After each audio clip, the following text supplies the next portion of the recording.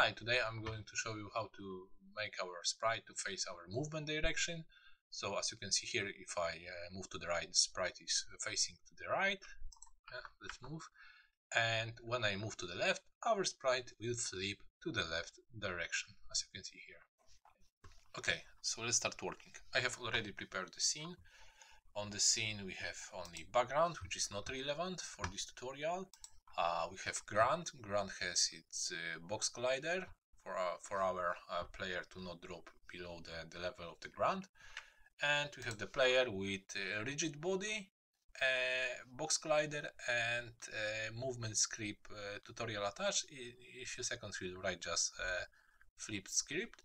But to be honest, to move, to rotate our player, so to flip our player on the other side, we just need to change the scale of our x. As you can see here, if I will put minus, it move, it rotates to left. If it's uh, 1, it rotates to the right. So now, let's start uh, writing our script. Here, what I have already prepared is my movement script. So I have a uh, float value of move input. Mm, so it's uh, what you press on the it's horizontal input.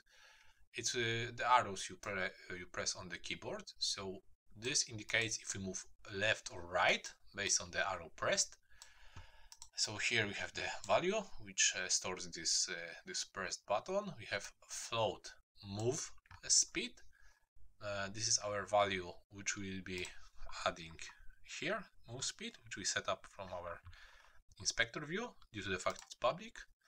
Uh, and here we have our reference for a rigid body. A rigid body is responsible for physics, for movement. So on the rigid body 2D, I get I just reference the component, the rigid body, which I have mentioned here, which we which we are going to use for the movement script. And here, as I mentioned, we have move input.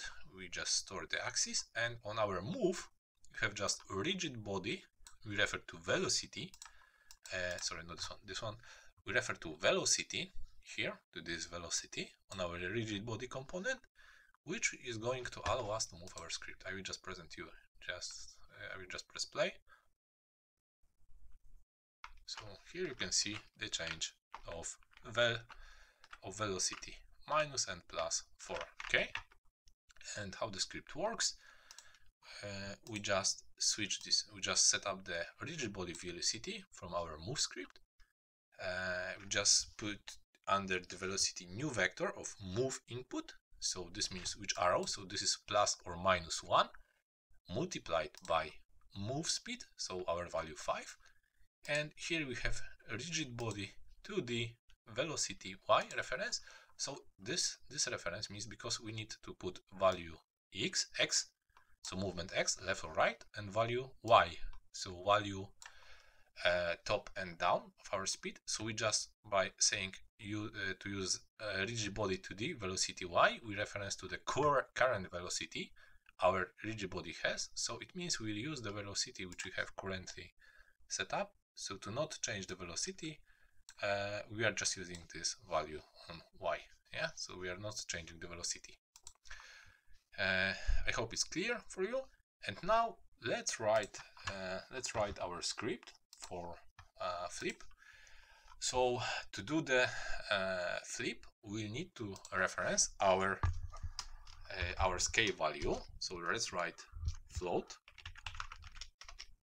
scale x uh, x value is the one we'll change here. Here we'll be referencing our x value, so to, to rotate our player or flip our player, depends how, how you would like to call it. Okay, so this is this value, and now let's say our scale x is equal to tra transform that local scale dot x. So we are just under scale x, we're just storing our local scale value. So we just uh, okay so we are just taking under scale x this value from this reference. Okay, hope it's clear. Uh, and now what is going to happen next? We need to write our flip function. So for our flip, to do our flip, let's write public void flip and to, to flip our player, we just need to reference our movement. So if our move input, so if we move right, move uh, move input, yeah, it's here, is greater than zero, we just need to set up transform that local scale equal to new vector 3 and now under x value we put scale x. Transform that local scale alright so this this this means we just take current local scale and not changing local scale on y value just changing on the x and same we'll do for the um, for the z value. So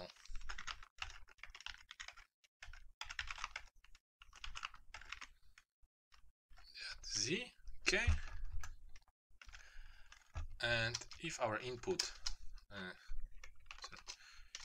if mm, move input is less than zero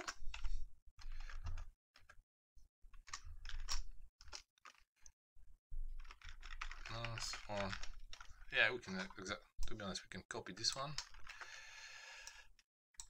and only what we need to do is to multiply by minus 1 our scale x. Okay. And let's put this flip under our move script just. So let's do it here. And now if we will test our function. Just, okay something is loading ah. okay so now if we just press play